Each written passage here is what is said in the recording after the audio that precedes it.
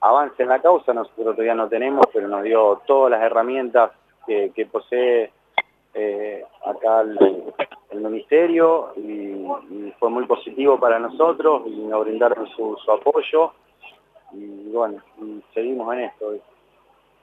Jorge Necier, el fiscal de la causa, ¿salió en algún momento? ¿Se encontraba en el Ministerio Público de la Acusación? está de vacaciones en este momento.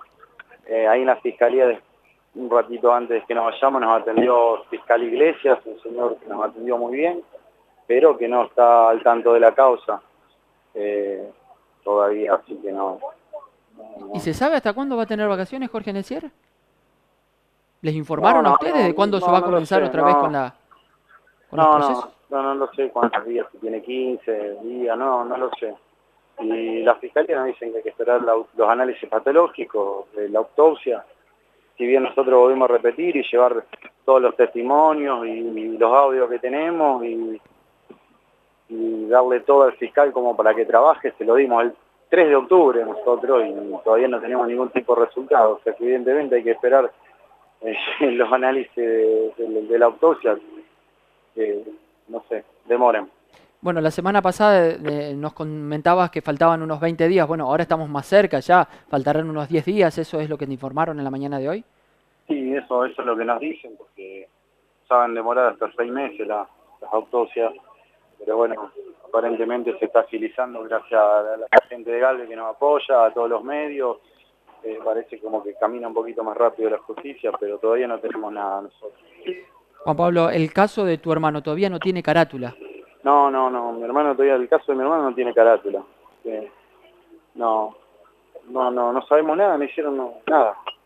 Eh, ¿Te llamaron a alguna entrevista? ¿Llamaron a alguna de las personas que se encontraban dentro del boliche esa noche? A nosotros nos dicen que algunos sí, no, no, de los testigos que pasamos nosotros, nosotros tenemos en cuenta dos testigos nomás, los demás testimonios creemos que es gente que trabajaba en el boliche pero de los nuestros testigos que presentamos y, demás, eh, no sé si ha hablado con el médico, que es fundamental el testimonio médico, porque ahí cuando nosotros nos damos cuenta que mi hermano fue asesinado. Eh, pero bueno, estamos a la espera y con mucha impotencia y de saber qué le pasó a mi hermano. Bien, Juan Pablo, fuiste acompañado, ¿estaba tu mamá, también algunos amigos? Sí, sí, sí, sí, estaba mi madre y y algunos amigos que pudieron venir y a los cuales les agradezco porque están sin, siempre están.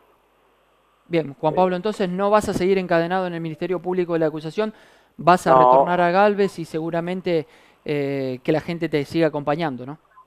Sí, sí, ya vamos a ver el próximo paso y seguir pidiendo justicia y te repito, como lo digo en todos lados, esto se tiene que esclarecer, no puede pasar, y primero de todo para que no le pase a otra persona. Mi hermano ya está muerto, yo igual lógicamente pedir justicia hasta donde me dé el cuerpo.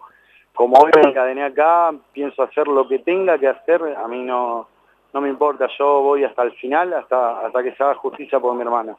Es lo que le prometí a mi hermano.